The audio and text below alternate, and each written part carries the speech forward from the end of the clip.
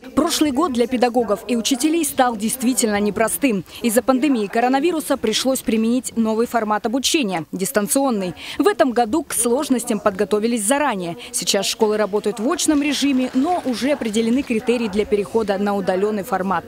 Руководствоваться будут четырьмя уровнями. Если общее количество заболевших в школе будет меньше 20%, обучение будут продолжать в обычном режиме. На дистант начнут переходить, если более 20% педагогов уйдет на больничный. Также удаленный формат предусмотрен и для оранжевого уровня. Для последнего введут дополнительный каникулярный период до двух недель.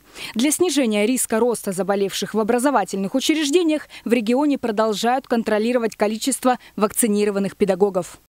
На 1 сентября 2021 года а, более 21 тысячи педагогов вакцинировано. Это составляет а, чуть более 71%. То есть мы а, тот базовый показатель, который установлен, уже перешагнули, но вместе с тем вакцинация педагогов продолжается, потому что мы прекрасно с вами понимаем, что среди педагогов есть переболевшие, у которых еще не истек срок да, для того, чтобы поставить прививку.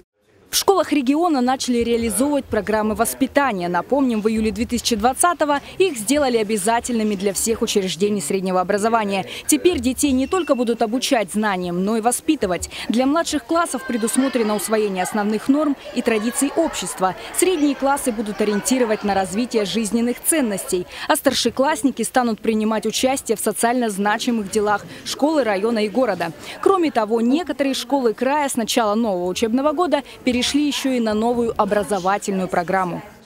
Вот в рамках э, работы этих школ и этих классов, которые пошли по новому стандарту, иностранный язык, действительно, второй иностранный язык действительно не обязателен. И э, обучающиеся по заявлению родителей э, могут его исключить из своего образовательного процесса. Если мы говорим о тех детях, которые продолжают обучение в соответствии с ВГОС 2010, то иностранный язык, второй иностранный, обязателен.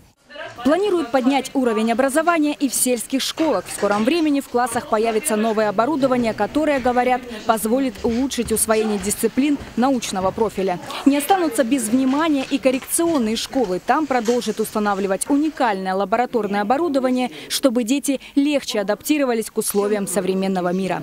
София Яценко. День с толком.